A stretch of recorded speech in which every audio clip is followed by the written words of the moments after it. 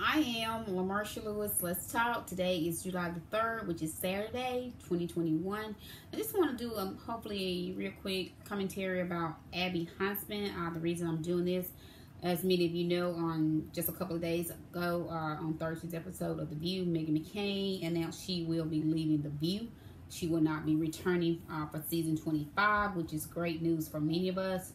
Uh, she mentioned Abby was uh, instrumental in helping her uh, uh, with the decision. Many of us remember when Abby was on the show, which was a very short-lived uh, time for her to, to be a co-host, which I was glad because I was not a fan, nor am I a fan of Abby Huntsman.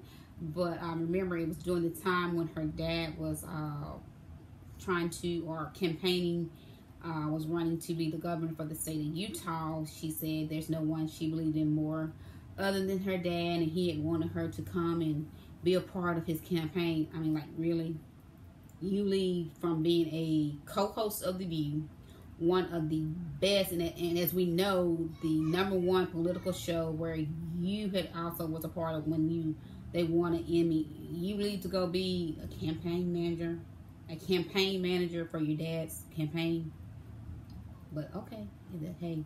But upon uh, her leaving, this has since came out, and the real reason Abby Huntsman left, and it says, I don't talk much about that time, and I won't, but the decision that I made was probably the best decision I could have made for my life, for my mental health, for my happiness, for my family, it was a decision that I felt in my gut actually for quite some time about making much longer much longer than people probably realize and when I made the decision I remember walking outside those doors after they told me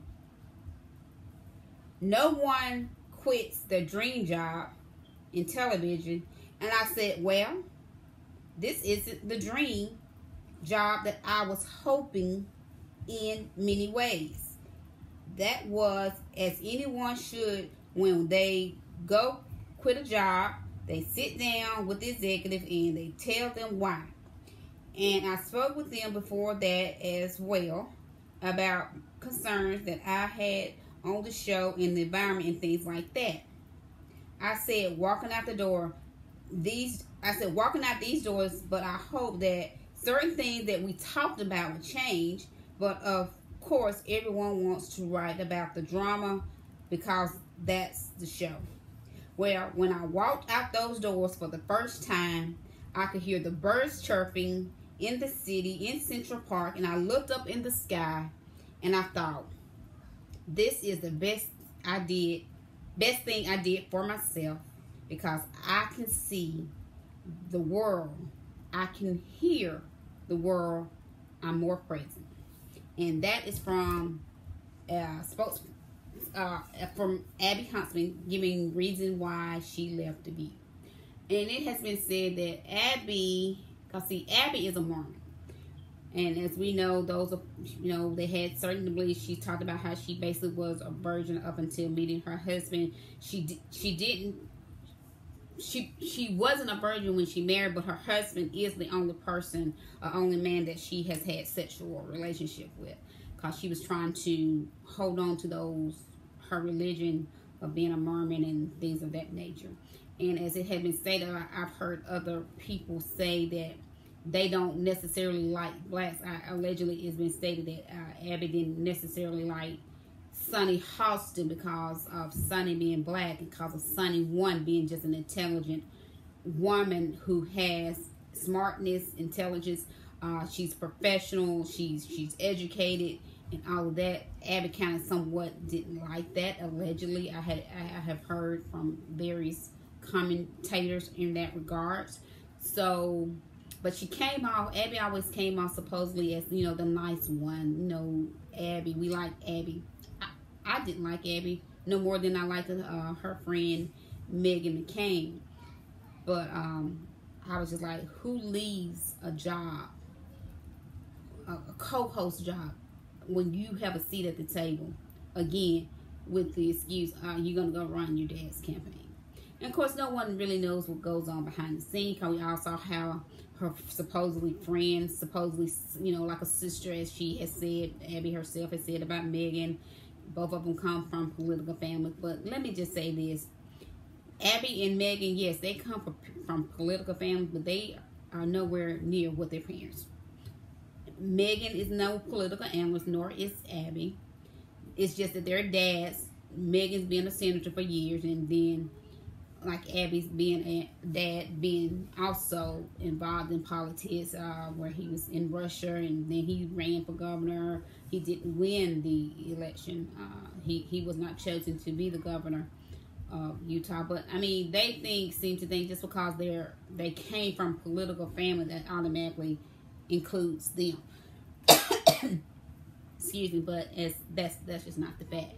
I'm glad to see. Uh, I, I, was I was like hoping um, she didn't come back. Uh, Abby, once her dad didn't win, I'm glad. I don't know. She seemed to have left the spotlight. Um, I, I, don't know if she's working. If so, I, to my knowledge, it's obviously not in anything with news or uh, being a reporter, journalist, or co-host, or commentator, anything of that nature. Because we have not heard anything. And it's my hope uh, that, like uh, Abby, she went away. Thank you Meghan has announced that she will not be returning. Thank you. It is my hope that you never, for those two ladies, Abby and Meghan, to ever have a platform where they have jobs being uh, what you want a co host, commentator, reporter, which Abby, as many said, she was not a good fit for the view, but neither is Meghan uh, I, I heard where uh, Ron Martin had did a commentary when Meghan had talked about when many people roasted her and Keisha uh, was the best at it when she uh, roasted her when Meghan tried to talk about uh, when they was talking about color and uh, people like Asian uh, people of color when the skills uh, to be should they somebody from the view be leaving their job because of trying to give the indication like merits or that she had that when we all know that she was only given that job because of her dad and in, in, her announcement Whoopi even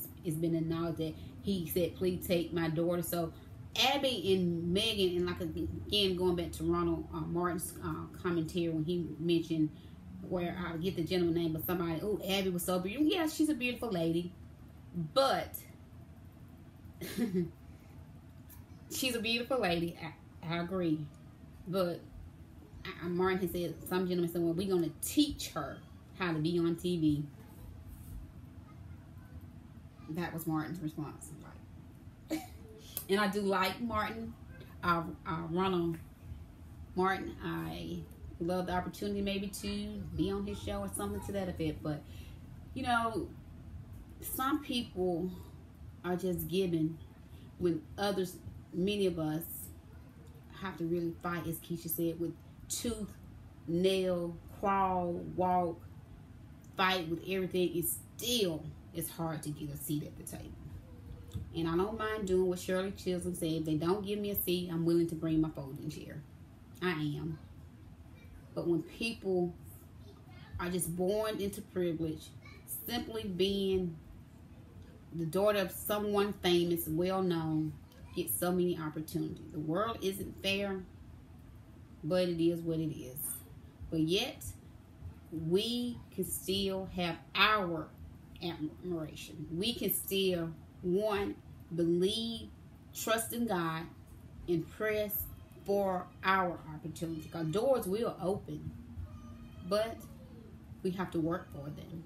And we have to believe that all things are possible. Even if we don't have a famous last name, if we're not white and privileged, and if we're not rich, the doors will open. This is I am LaMarsha Lewis commentary. Let's talk.